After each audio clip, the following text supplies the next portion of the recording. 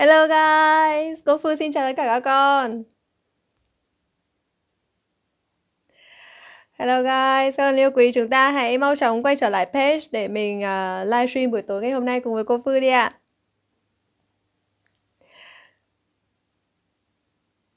Hôm nay là buổi tối cuối tuần, không biết là các con đang làm gì ạ? Chúng ta đã uh, uh, coi hết sự trở lại của Blackpink chưa? How you like that? Ok. À, đã rất rất là lâu rồi cô không có để ý lắm đến cái thị trường âm nhạc hiện tại các con ạ. Có lẽ là không lâu nữa là cô sẽ trở nên à, khá là outdated đối với lại là âm nhạc gọi là modern music âm nhạc hiện đại đúng không ạ? Bởi vì là cô không có nghe những cái nhạc đó. Thực sự thì có những cái cô nghĩ là à, dần dần chúng ta sẽ có cái khoảng cách. Bởi vì cô cũng theo cũng không có thể theo kịp các con được. Và tiếp theo nữa là cái cái cái cái cái à, gọi là cái gì nhỉ? Cái sở thích của chúng ta ấy sẽ ờ, dần dần cũng sẽ có chút khác nhau đúng không? Người già với người trẻ nó phải khác nhau. Đúng không ạ? Vì thế là không có trách, không có thể trách được cái việc đó là chúng ta không có được, không không có được cái tiếng nói chung với bố mẹ. Bởi vì người già với người trẻ đã khác nhau, đúng không? Ok, nhưng mà biết là các con vui là ok rồi. Và đặc biệt là trong cái lúc mà thi cử căng thẳng như thế này, chúng ta có được một chút cái giây phút thư giãn thoải mái thì cô nghĩ là sẽ rất là ok. Đúng không ạ? Alright rồi váy đỏ xinh thế đúng không ạ? À, hôm nay là cô phương mới đi ra ngoài đi chơi một chút ạ cuối tuần. Vì thế cho nên là là cô đang mặc cái bộ này. Sau khi đi về thì cô lập tức là livestream luôn. Vì thế cho nên là à, không có như mọi khi đó là có áo uh, sơ mi rồi là vest vân vân. À, hôm nay cuối tuần chúng ta sẽ thoải mái thư giãn một chút ạ. Ok. Ok màu đỏ có hợp với cô phương ạ. Khá là hợp, đúng không? Rồi.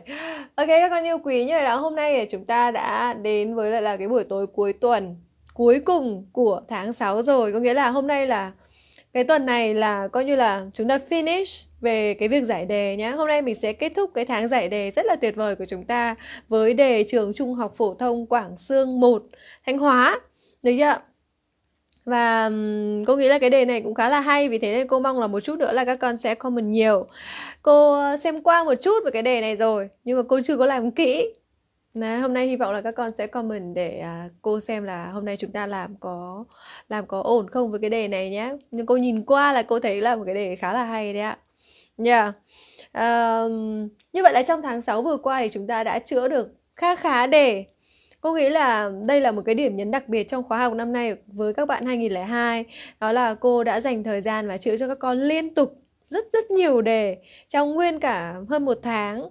Và chúng ta với cái việc mà luyện đề nhiều như thế này, chắc chắn là nó sẽ có được cái cái cái tác động rất là tích cực đối với cái việc luyện thi của các con.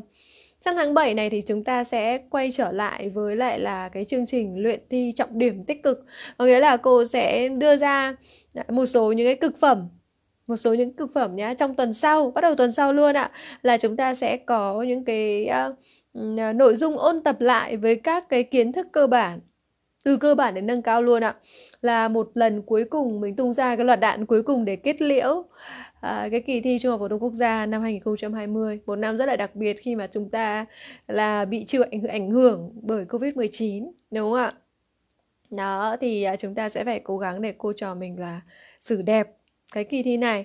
Và với cái mục tiêu đó thì uh, À, trong tuần tới là cô Phương sẽ đưa ra những cái nội dung có thể nói là cực phẩm luôn cho cái kỳ thi năm nay để chúng ta làm sao mà ôn thật trúng thật sát luôn. Đấy ạ thật trúng thật sát nhé đấy để chuẩn bị thật là tốt cho cái kỳ thi vào tháng 8 đây sẽ là cái à, phần ôn cuối cùng cái lượt cuối cùng của chúng ta ấy. Đấy, trước khi chúng ta đi thi nói đây là lại thấy hồi hộp rồi đúng không ạ hồi hộp thì lại xem Blackpink đi nhá cho đỡ căng thẳng được chưa ok các con yêu quý À, chúng ta đã sẵn sàng chưa ạ? Để hôm nay chúng ta sẽ cùng chữa đề của trường Trung học phổ thông Quảng Sương 1 Thanh Hóa. Comment giúp cô nhé. Vì hôm nay cô chưa có làm trước đề Từ đây là cô sẽ uh, hôm nay là cô sẽ mong là các con comment để các con nhắc bài cho cô đấy ạ. Ok, rồi chúng ta đã sẵn sàng chưa? Đã sàng chưa? Rồi, chúng ta sẽ bắt đầu nhé.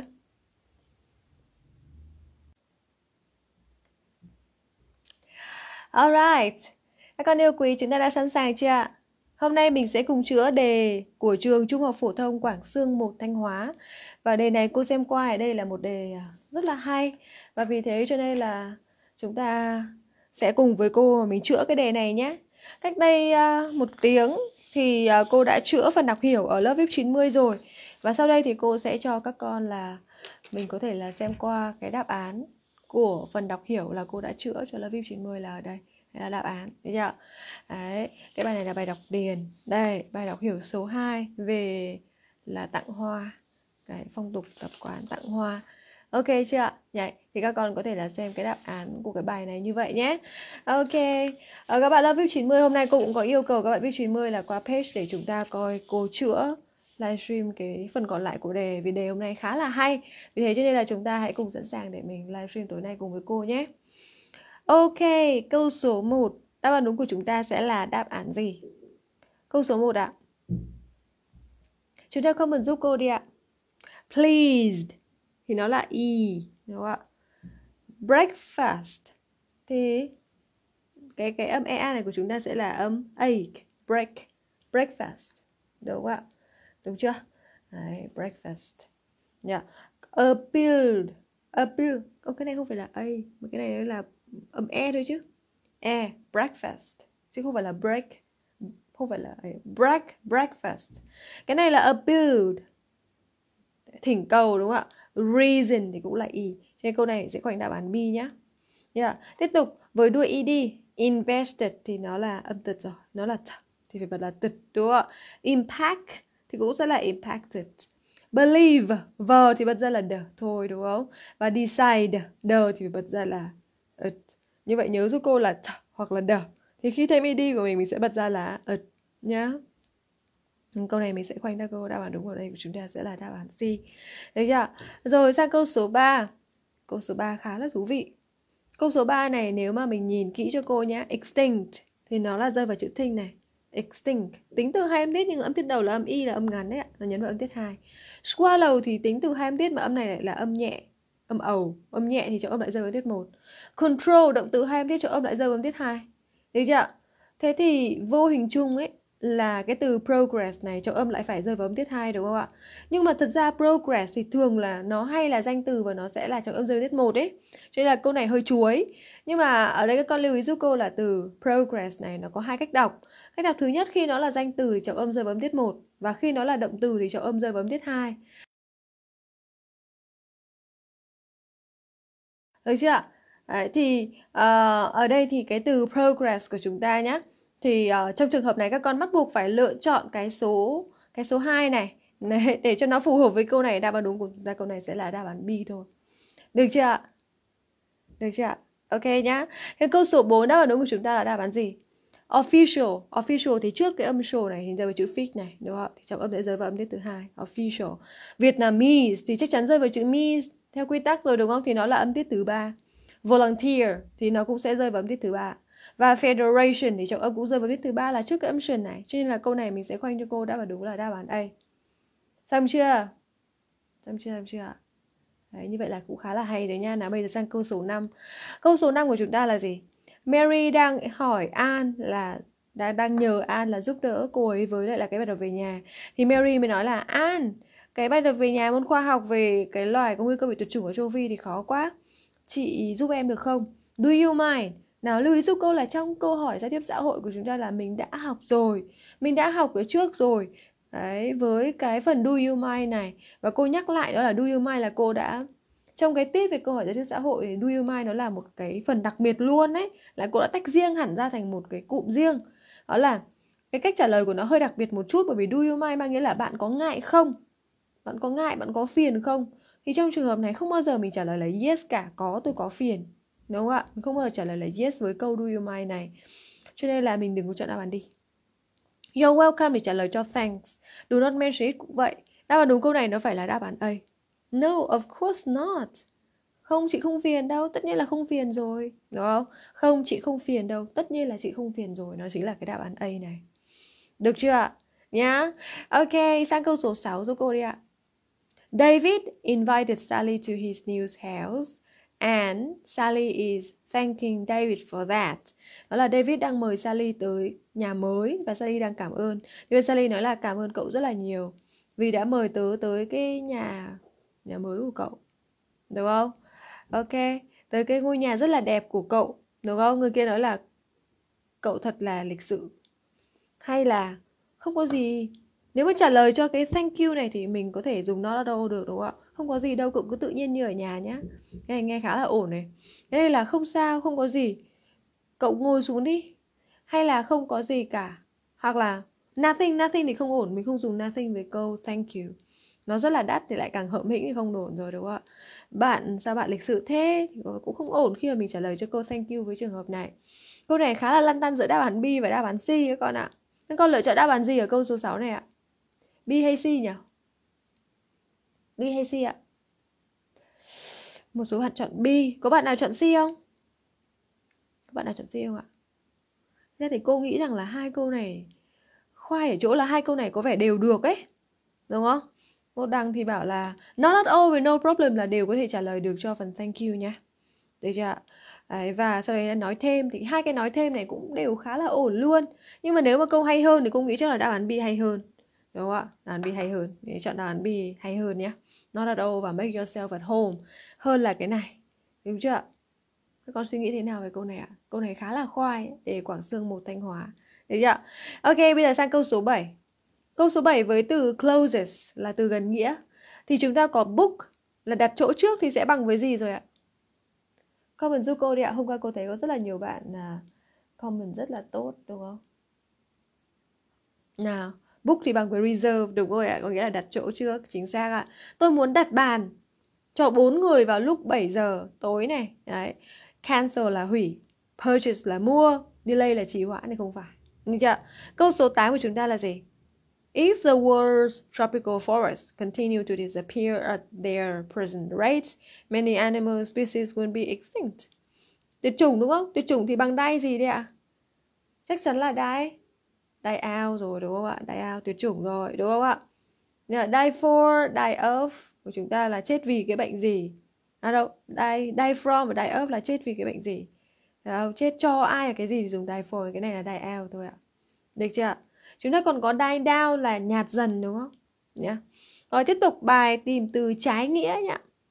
Đấy, theo WHO thì rất nhiều những cái người khuyết tật là vẫn còn phải đối phó với lại là những cái khó khăn, cái sự phân biệt, sự nghèo đói và cái sự tiếp cận hạn chế đối với giáo dục, việc làm và chăm sóc sức khỏe. Thì cái từ limited là hạn chế đúng không ạ? Thì nó sẽ giống như là control, giống như là inadequate, giống như là short và trái với nó sẽ là unrestricted. Unrestricted có nghĩa là unlimited, không bị giới hạn. Đúng không? unlimited thì rõ ràng là nó sẽ trái nghĩa với lại là limited rồi đúng chưa Ok, very good. Bây giờ sẽ là câu số 10 nhé. Câu số 10. Idiom. Đúng không ạ? Bình thường nó là câu 23 đây, đúng không ạ? Bây giờ chúng ta sẽ có một cái idiom này. Nowadays, it was rather easy to buy a modern television, and it was pack a punch to bring to life some really awesome visuals. Ngày nay khá là dễ để mua một cái tivi hiện đại, và nó sẽ có một cái tác động lớn. Cái câu này mang nghĩa là have a great influence hoặc là have a great effect. Have a great influence. Được chưa? Tức là nó có cái tác động lớn ấy.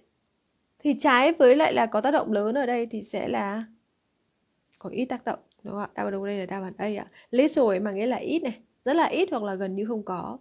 Được chưa? Thì cái idiom này là các con sẽ phải nhớ nhá. Hôm nay đề hôm nay mình học được cái cụm này có vẻ khá là mới. Tức là nó là có cái tác động lớn để mình có thể là mang tới cuộc sống là một vài những cái hình ảnh mà nó rất là tuyệt vời. đúng không? Chứ không phải là tạo ra những kết quả này hay là làm cho mọi thứ xảy ra hay là ngăn chặn cái gì đấy đưa vào sử dụng mà đây là có cái tác động lớn nhá. Ok. Ok chưa? Alright, cái cụm này mới Con không biết cái cụm này Đúng không ạ? Đấy thì nó sẽ bằng với cái này này Đấy, have a great influence hoặc là impact hoặc là effect on Bây giờ thì là cái này là sẽ trái với nó sẽ là cái này Ok, bây giờ mình sẽ sang câu số 11 nhé. Tiếp tục comment giúp cô đi ạ. Câu số 11 đáp án đúng của chúng ta là đáp án gì? Hôm nay lại còn có bạn nào xem tiếp Blackpink ạ? câu số 11 đáp án gì ạ? By the end of this March là trước cái cuối cái tháng 3 này. Được không? Trước cái cuối tháng 3 này. Được không? Thì sao ạ? thì sẽ đã, đúng không sẽ đã được chưa sẽ đã nhá đúng không ạ bởi vì cái này là trước tháng 3 này là chưa xảy ra thì sẽ đã được 20 năm thì giờ sẽ dùng tương lai hoàn thành tương lai hoàn thành ở đây của chúng ta là đáp án C mình dùng hẳn tương lai hoàn thành tiếp diễn luôn đấy, bởi vì nó đang nhấn mạnh đến cái quá trình được chưa đấy, sang câu số 12 thì mình lựa chọn đáp án gì? The students plan for a musical show to raise money for charity, receive support. Cái này đó là receive support là cái từ cần điền ở đây ở đây này. Nhận được cái sự hỗ trợ gọi là toàn diện đấy ạ. Đấy không? từ những tức là cái kế hoạch của các học sinh đấy, cho một cái đêm nhạc để gây quỹ từ thiện thì đã nhận được cái sự hỗ trợ gọi là 100% đấy đúng không ạ? Từ những cái ba lãnh đạo nhà trường. Nào warm hearted thì là những cái người nồng hậu. Đấy ạ light hearted thì mang nghĩa là gì ạ? Có nghĩa là nhạt nhẽo phải không? Light hearted có nghĩa là tức là nó không nó không không nghiêm trọng ấy. Yeah. tức là đôi khi là nó là nhạt nhẽo hoặc đôi khi nó mang nghĩa là rất là nhẹ nhàng ấy. Thế còn wholehearted là gọi là trọn vẹn toàn bộ. Chúng ta rất là cần những cái người vợ là wholehearted với lại là chồng đúng không ạ? Đấy. còn uh, big hearted của chúng ta thì sẽ mang nghĩa là gì ạ? Đấy, thì đi thi chúng ta có thể là sẽ gặp rất là nhiều những cái từ như thế này. Big hearted thì sẽ là rất là tốt bụng ấy một cái trái tim lớn. Thì cái này không phải là sự hỗ trợ trái tim lớn nữa đây là một cái sự hỗ trợ trọn vẹn toàn vẹn chứ đúng không? Nhận được cái sự hỗ trợ trọn vẹn thì sẽ là whole hearted, nghĩa là nhận được cái sự hỗ trợ gọi là complete đúng không ạ? Hoàn toàn đúng không? Đấy ok chưa ạ alright wholehearted trạng từ của chúng ta là wholeheartedly ok nghĩa là rất là hào hứng hoàn toàn được chưa ạ? yeah. Rồi sang câu số 13 đi ạ. Tim in trouble with the police department. Now, if he had listened to me in the first place. Now, if và đi với quá khứ hoàn thành rồi. Nhưng mà vế này lại có now thì nó sẽ là câu điều kiện trộn. Đấy, rất lâu rồi mình mới nhìn thấy câu điều kiện trộn trong một cái đề thi thử. Đúng không? If cộng với quá khứ hoàn thành nhưng bên này có now, mình sẽ chia út cộng verb ở trong tình huống này. Đấy. Và bây giờ để ý kỹ, chỉ có một đáp án có út cộng verb thôi thì chọn luôn. Và dịch ra một tí đi ạ. Tim đã không gặp rắc rối bây giờ nếu như mà ban đầu mà anh ta đã nghe tôi. Đúng không? Ok chưa Nha, câu điều kiện trộn mixed. Sang câu số 14, câu hỏi đuôi đi ạ. Nothing is destroyed after the serious flood in this area. Thì ở đây là cái mệnh đề của chúng ta đây. Đúng không ạ? Thì cái nothing này, cái đuôi của chúng ta sẽ là it. Được chưa Và nothing thì đã là phủ định rồi thì cái này phải là khẳng định. Khẳng định và với động từ to be thì sẽ là is. Is là đáp án cuối cùng của chúng ta. Biết cách làm chưa ạ? Nhá. Sang câu số 15. Cái gì đó becoming extinct is đã có động từ ở đây rồi. Is of great concern to zoologists. Zoologists. Yeah. Thì câu này là gì? Nếu như mình chọn là giant pandas are becoming extinct is of great concern thì có nghĩa là một chủ ngữ, hai động từ đi liền nhau như này thì sẽ không đúng được, không đúng được. Đúng không? Một chủ ngữ hai động từ không đúng nhá. Đáp án B, đảo A lên trước thì lại càng sai vì đây không phải là câu hỏi. Đáp án C, that giant pandas are becoming extinct is. Thì cái này đúng này. Bởi vì cái that là mệnh đề danh từ. Cái việc mà cái con này là như này. Thì cái việc đó làm sao thì cái is này là động từ của từ that. Là hoàn toàn đúng nhá. Còn cái này, the giant panda is becoming extinct, xong lại is. Thì lại hai động từ to be liền lúc như này thì cũng sai luôn. Đúng chưa? Cho nên đáp án đúng câu này của chúng ta sẽ phải là Thế là đáp án C thôi. Được chưa? Ok nhá. Rồi sang câu số 16 này. the verb. Armed terrorists are reported to have the embassy. Đó là gì đấy ạ? Đó là cái, những cái tên ờ, khủng bố có vũ trang đã được báo cáo đây là đã chiếm quyền kiểm soát cái đại sứ quán rồi, đúng không ạ? Take up là theo đuổi cái gì? Đúng không? Take after là giống ai?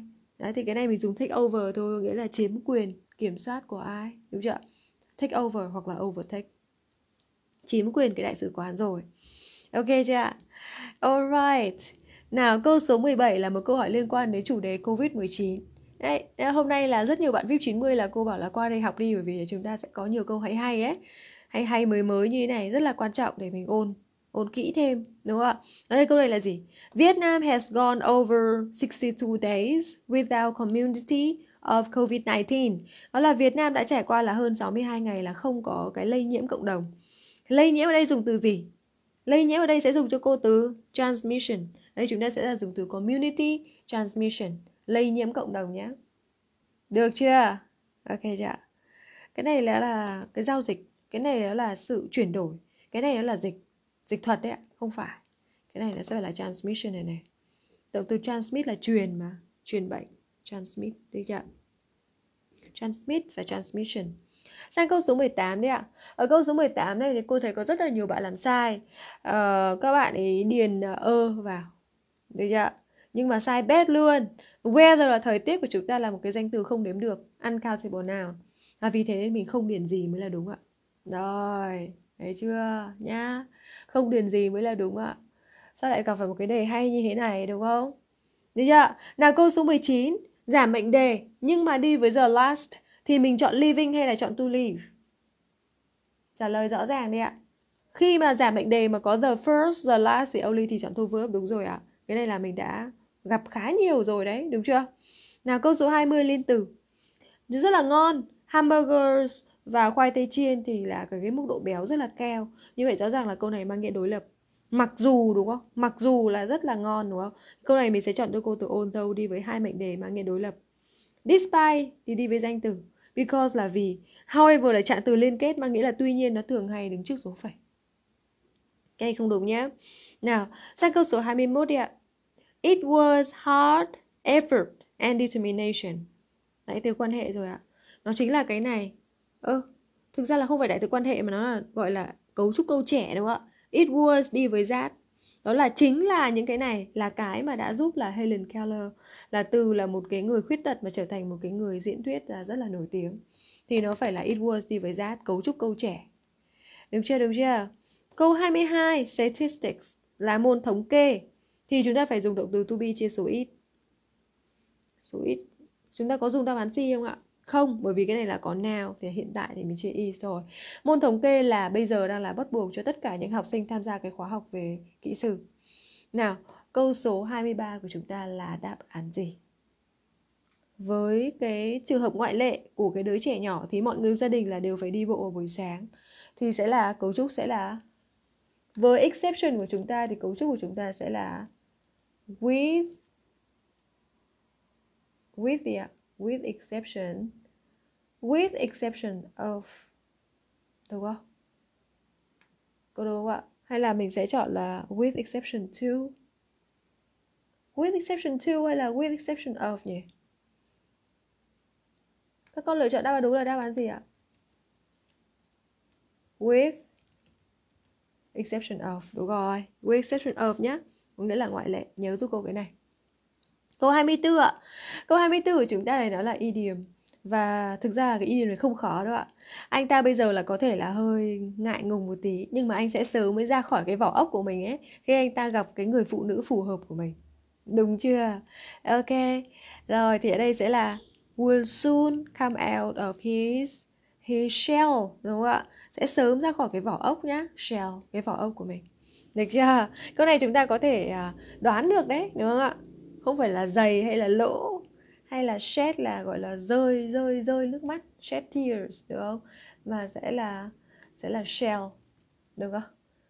Được chưa cái cái shed còn có nghĩa là chuồng ngựa đó đấy. Ở ờ, câu 25 thì chọn đáp án gì? Đây là một cái ờ, tập quán rất là, gọi là, typical của người Anh là sẽ uống trà chiều. Thì ạ? Người Anh, người Ấn Độ là luôn luôn là uống cà phê, trà là buổi sáng, buổi chiều. Gần như là họ không thể chịu được khi mà buổi sáng ngủ dậy mà không uống trà cái việc đầu tiên khi ngủ dậy là phải uống trà ấy. yeah. thì đây sẽ là typical British British custom, đúng không ạ? Cho custom hoặc là tradition, đúng không? Phong tục tập quán. Ok. Manner là cách thức, behavior là là cái cái cái cách cư xử, đúng không ạ? Và habit là thói quen. Cái này mình không dùng thói quen ạ, mình hẳn dùng hẳn cái từ custom giúp cô nhé. Đó là cái phong tục. Xong chưa? Ok, bây giờ mình sẽ cùng đến với bài đọc điền Bài đọc điền ngày hôm nay khá là hay đấy Nó là liên quan đến chủ đề homeschooling Yeah. Chủ đề homeschooling là ở lớp VIP 90 hôm qua cô cũng vừa mới ra một cái đề homeschooling xong và hôm nay ở đây mình thấy một cái đề khác. Nhưng mà cái đề này khác với cái đề cô ra. Chúng ta sẽ cùng xem nhé.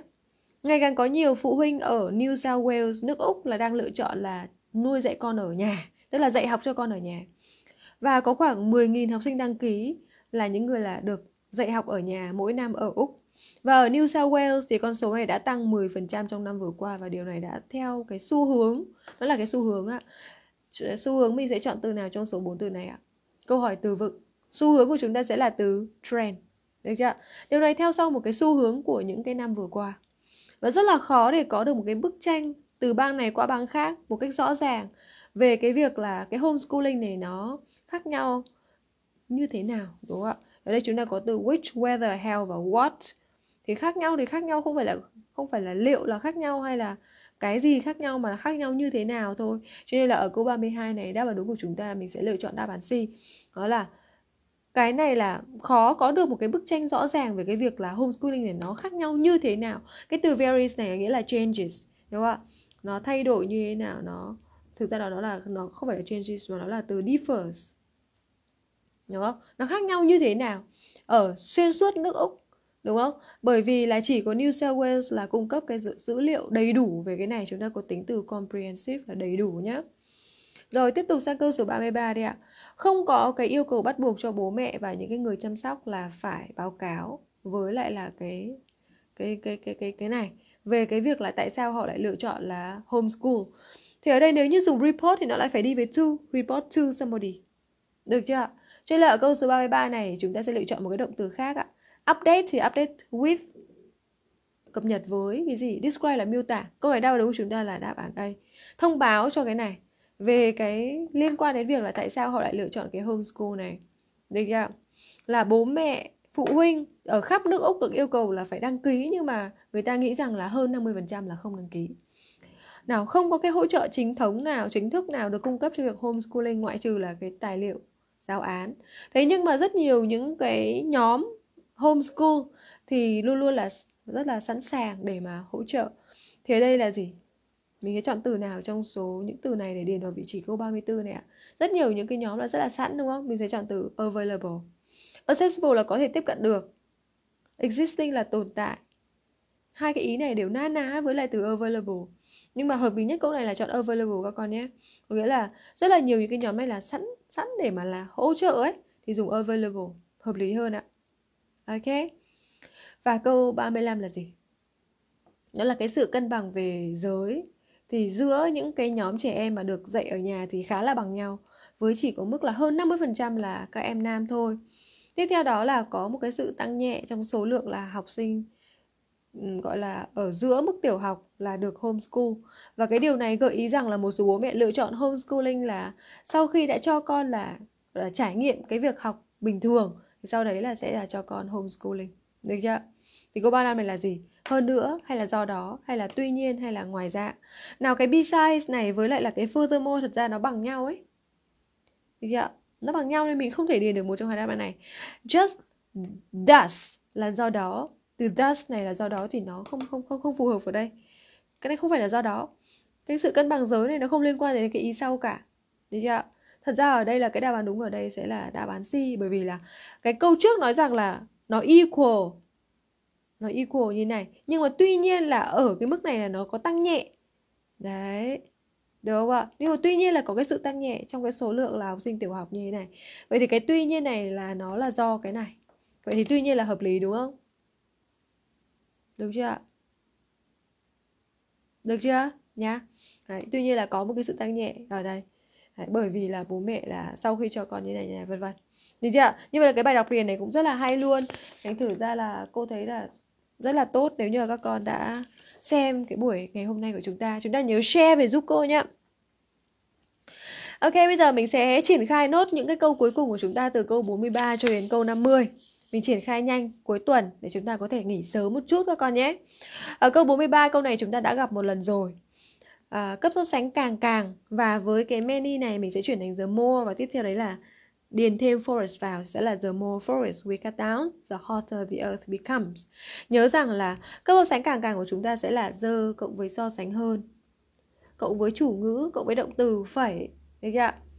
Rồi đấy the cộng với so sánh hơn, cộng với chủ ngữ, cộng với động từ. Đấy, đó là cấp cái so sánh càng càng nhá. Ờ, câu 44, này, câu này thì ờ, cái này sai đúng không? Bởi vì không phải là chúng ta cắt rừng nhiều. Nếu mà dùng the more we cut down forest thì nó sẽ mang nghĩa là we cut down forest much chứ nó không phải là many forest. Nếu mà many forest thì so sánh hơn là phỉnh b cả forest lên. Dạ, còn những cái đáp án này là không đúng theo cấu trúc này thì mình loại. Ok chưa? Câu 44 nhé. Đó là anh ta tặng rất là nhiều tiền cho cái quỹ từ thiện. Anh ta hy vọng là có thể làm giảm đi cái sự gọi là cái nỗi đau cũng như là cái sự đau khổ của những cái người à, mà gọi là à, hiểm nghèo đúng không ạ? À, gặp bệnh hiểm nghèo những cái người à, khuyết tật. Nào ở đây bạn án A đó là trao hầu hết tiền của mình cho quỹ từ thiện thì anh ta hy vọng cái này giảm bệnh đề ạ. Giảm bệnh đề cái này dùng giúp anh đúng chưa? Verb in cộng với cái này, đúng chưa? Khá là đúng rồi đấy, đúng không? Thế còn đáp án B là gì? Làm giảm nỗi đau của cái người này, làm cho, khiến cho anh ta phải phải phải tặng tiền cho quỹ từ thiện thì không đúng đúng không ạ? Không phải là giảm cái này là bắt anh ta, không phải cái việc này bắt anh ta, đúng không ạ? Đáp án C là hy vọng làm cái này, thì anh ta đã tặng họ rất là nhiều tiền, hầu hết cái khoản tiền của mình. Thì thứ nhất là nó thiếu từ charity và thứ hai là mình không giảm cái kiểu này không? cái mục đích làm gì người ta phải đi đằng trước, đúng không? Người ta không không giảm mệnh đề kiểu này. Đáp án đi là anh ta đã tặng hầu hết tiền của mình cho cái người này để làm, cho những cái người này thì không phải, mà đây là phải cho cái người charity, cho charity chứ không phải cho cái giờ disadvantage, đúng không? Cho nên đáp án đúng câu này ở đây nó là đáp án A thôi. Giảm mệnh đề rất là đơn giản. Cái cái vế đằng trước này mình dùng là giving. Giảm mệnh đề xong rồi phẩy về sau vào là xong. Hai câu này cùng chủ ngữ rồi, giảm quá dễ luôn kiến thức về giảm mệnh đề không khó gì cả đúng chưa rồi câu số 45 nhá You mustn't forget to put a stamp on. Mustn't đây mang nghĩa là không được phép. Thì bây giờ dùng cái động từ gì? Đây là tôi bảo với viên thư ký rằng là tôi không được phép như thế này thì không đúng đúng không? Đây là cái cái viên này là viên quản thư nói như vậy. Đây là cái người này nói với tôi rằng là tôi không được phép thì cũng không đúng bởi vì chuyển từ câu trực tiếp sang câu gián tiếp người ta không dùng lại mustn't đâu ạ. Đó, người không người ta không bao giờ dùng mustn't lại được. Đó. Đáp án C là cái người quản thư này nhắc nhở tôi là phải phải dán tem vào, đúng không? Hay là cái đáp án đi là tôi bảo cái viên quản thư là đừng quên dán tem vào thì không đúng, cái này là cái người này nhắc tôi là phải dán cái này vào. Cái đáp án đúng ở đây là đáp án C, đúng chưa? Đúng chưa đúng chưa đúng không? Bạn không được phép như này, tức là nhắc nhở là phải làm cái này, đúng chưa nhá, câu 45 đáp án C giúp cô. Rồi, bây giờ sẽ là câu 46 đi ạ câu 46 thì mình chọn đáp án gì câu 46 chọn đáp án gì ạ The music was so loud that we had to shout to each other. Cái nhạc này nó quá là to, đến nỗi mà chúng tôi là phải hét lên với nhau. Thế án đây là chúng tôi không nói đủ to cho chúng tôi để nghe nhau thì không phải nhỉ. Đáp án B là nhạc quá to đến nỗi mà để không người ta không dùng to đi với that. Đáp án C là chúng tôi không nói đủ to để nghe thấy nhau. Không đúng đúng không ạ? Đây là do nhạc to chúng tôi phải nói to thì cái này đúng này. Hoàn toàn là dịch nghĩa ra thôi, đúng không? Chả có gì khó cả. Dịch. Dịch ra thôi ạ. Cái phần viết lại câu trắc nghiệm này là các con phải dịch, cộng với lại là một vài kiến thức ngữ pháp. Đó. Nào, ở đây câu 47 là gì? Ngay sau khi anh ta về nhà thì trời bắt đầu mưa. Được chưa thì đáp ở đây là về nhà, anh ta nói rằng trời sẽ mưa thì không phải nhá. Hay là trời vừa mới mưa thì anh ta lại về đến nhà cái này không đúng này không đúng đúng không ạ cái này phải là anh ta về nhà trời mới mưa đáp án đúng ở đây phải là đáp án đi cơ no sooner đi với lại là gian Đúng chưa? Đúng công thức chưa? No sooner nhớ đảo ngữ nhá. No sooner cộng với đảo ngữ của quá khứ hoàn thành, Rồi cộng với gian cộng với quá khứ Hành động nào xảy ra trước thì nó phải đi vào đây này Anh ta vừa về với nhà thì trời mưa là cái này xảy ra trước Thì nó phải đi vào đây Được chưa? As soon as he arrived home Thì bằng với lại là no sooner had he arrived home. Nhớ câu này nhá. Cô nghĩ là câu này là sẽ trúng tủ đây ạ. Yeah. Nào câu 48 là gì? Lần đầu tiên anh ta như này. Cô ta đi uh, trượt tuyết thì cô ta đã làm bầm tím một trong những cái chân của mình và làm gãy cái chân còn lại. Nào người ta không dùng another bởi vì một người là chỉ có hai cái chân thôi. Thì một chân bị bầm tím thì một chân bị gãy thì phải là các con sẽ phải chuyển cái another này thành the other bởi vì nó chỉ có hai cái thì một cái ở đây rồi thì cái còn lại nó phải là the other. Được chưa? Và câu 49 là enjoy thì phải đi với verb in. Không ai đi với tù verb cả. Enjoy thì phải đi với verb in, đúng không Là bọn trẻ là thích được cho phép là thức khuya. Khi mà có một cái gì đấy đặc biệt ở trên tivi Đúng chưa? Và câu 50 là có những cái phòng lớn với những cái tường được trang trí rất là đẹp. Nào, ở đây với decorated là trạng từ ấy, thì không ai dùng tính đi với trạng à, không ai dùng tính đi với P2 mà phải dùng trạng đi với P2 đúng không? Nó là cái kiến thức về tính từ ghép của chúng ta là mình đã học rồi. À, những cái phòng lớn với những cái tường được trang trí đẹp mà cái tường được trang trí đây là động từ được trang trí rồi thì cái trang trí này nó phải đi với trạng. Bởi vì được trang trí mà. Động từ thì phải đi với trạng từ là beautifully được trang trí rất là đẹp. Cho nên là câu này đáp án C và các con sửa cho cô thành là beautifully đúng chưa? Xong nhá như vậy là hôm nay mình chữa rất là nhanh gọn. Cái đề ngày hôm nay của chúng ta là đề Quảng Sương đề trường trung học phổ thông Quảng Sương Thanh Hóa. Không biết là các con có thắc mắc câu nào không? Nếu mà các con có thắc mắc gì thì bây giờ cô vẫn còn thời gian thì cô sẽ trả lời cho các con nhé. Được chưa và chúng ta cũng có thể tham gia group của cô Phương đó là group quyết tâm điểm cao cho kỳ thi học sinh giỏi. À, cho kỳ thi trung học phổ thông quốc gia. Đấy ạ. À, quyết quyết tâm điểm cao cho kỳ thi trung học phổ thông quốc gia nhá mình vào cái group đó và có thể là hỏi thêm những cái câu hỏi mà các con có thể là chưa hiểu lắm ở trong cái phần chữa như thế này. Hôm nay cô hy vọng là cô không chữa nhầm câu nào đúng không ạ? Lâu lâu là cũng có thể là sai. À, câu nào đó nếu mà không nhìn kỹ đúng không? Thì cũng, cũng có thể sai. Nói chung là cũng không ai đúng được hết cả đúng ạ nhưng mà cô hy vọng là hôm nay là không có cái lỗi gì. À, bây giờ các con có thể comment giúp cô thêm những cái à, những cái à, câu hỏi của các con nhé. Do là cái cái cái à, lượng đề khá là nhiều vì thế là cô cũng không có thời gian xem trước đâu. Thật ra là cứ vào đề như thế này thì là cô cũng mới chữa cùng với các con luôn thôi. Cho nên là mình chỉ sẽ mình sẽ comment giúp cô để cô check cái đáp án với các con luôn. Thì nó sẽ là mình sẽ có thể là xử lý được những cái câu này rất là đúng đúng không? Nào à, như vậy là cô đã kết thúc tháng 6 rất là tuyệt vời với lại là rất là nhiều những cái đề thi thử được chưa à, một lần nữa thì cô cảm ơn các con đã gửi đề cho cô cũng như là uh, cảm ơn uh, team của cô Phương đã giúp cô là có được một cái tháng giải đề rất là thành công đúng không? À, cô nghĩ là qua phần giải đề này thì cô đã giúp cho các con làm quen được đề hàng ngày, khiến cho các con cảm thấy là cái độ dài và độ khó của đề dần dần nó trở nên rất là quen thuộc với các con. Đúng không? Giống như là cái ví dụ là hôm qua cô chia sẻ với các con về cái việc rửa bát ấy. Đó là ngày nào mình cũng rửa 10 mâm bát. Đến lúc đi thi gặp 7 8 mâm thấy nó bình thường lắm. Đúng không ạ? Thì cái tháng 6 này mình đã đạt được cái mục tiêu như vậy hơn nữa là khi các con chữa đề cùng với cô, nó rất là khác với việc là các con chữa đề, tự mình chữa đề. Bởi vì các con chữa đề với cô thì có một cái hướng dẫn của cô luôn. Đấy, và cái hướng dẫn này mình đảm bảo rằng là cái phần làm bài của mình là đúng. Đúng không ạ? Như thế là rất là tốt. Vì thế cho nên là cô nghĩ rằng là cái tháng giải đề của rồi của mình là rất rất là thành công. Bây giờ mình sẽ cùng đến với cái giai đoạn tháng 7 giai đoạn tháng 7 của chúng ta là cái giai đoạn về đích đúng không ạ? Giai đoạn về đích của chúng ta rồi, mình sẽ bung lụa, mình sẽ đưa ra những cái cực phẩm và những cái gì nó tinh hoa nhất của khóa học thì cô sẽ đưa ra ở cái tháng 7 này. Thì ở đây với những bạn mà học ở trên page, thì tháng 7 này thì cũng sẽ cố gắng là ôn tập lại cho các con những cái chủ điểm cần thiết với những cái bộ đề mà liên quan đến từng cái chủ điểm trong đề thi để mình ôn tập lại. Với những cái kiến thức cần thiết mà gọi là trọng điểm ấy thì cô sẽ ôn tập lại lần cuối cho các con. Được chưa? Sau đó thì các bạn ở trên page thì chúng ta sẽ cái này giải thêm một số những cái đề hay của các trường. Đấy, ôn tập thêm. Đấy, phần giải đề của các trường. Còn trong khi đó các bạn ở lớp VIP 90 thì chúng ta sẽ đến với cái bộ đề dự đoán. Bộ đề dự đoán rất hay. Cũng như là sẽ có cái bộ đề phát triển từ đề tham khảo của cô là Cái bộ đề này là bộ đề cô viết riêng cho VIP 90 và cô không public ra ngoài Vì thế cho nên là những bạn nào mà chúng ta muốn tăng cường thêm điểm số của mình và muốn học thêm các bài giảng của cô từ đầu đến giờ, chúng ta vẫn có thể đăng ký VIP 90 vào ngay lúc này. Đấy chưa? Bởi vì là better late than never. Đúng không? Chúng ta có một cái câu đấy là gì?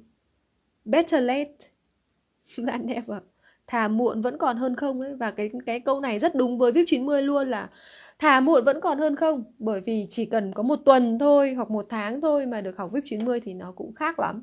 Đấy ạ. Cho nên là uh, chúng ta cố gắng theo dõi VIP 90 giúp cô nhé. Và uh, VIP 90 cũng sẽ có được cái bộ đề dự đoán trong hai tuần tới. Cô sẽ tung ra cái bộ đề dự đoán đặc biệt cho chương trình thi năm nay. Đấy. và vì thế hôm nay mình sẽ kết thúc sớm ở đây à, để cô có thời gian soạn bài. Đấy, cho cái tuần tới bắt đầu từ tuần tới từ ngày thứ hai chúng ta sẽ bắt đầu cái bộ đề dự đoán này nha và cái phần giải đề mình sẽ tạm gác lại ở đây cho đến sau khi mình xong cái bộ đề dự đoán này ấy thì chúng ta sẽ quay lại giải đề thêm ở những cái ngày cuối cùng trước khi các con đi thi. Được chưa ok nhá. À, hẹn gặp lại các con trong những tiết học sau và cô chúc các con ở trên page các con VIP 90 sẽ đạt điểm số cao nhất trong kỳ sắp tới và thi đậu đại học ở nguyện vọng 1 luôn nhé. ok. Rồi ok rồi chúc các con ngủ ngon.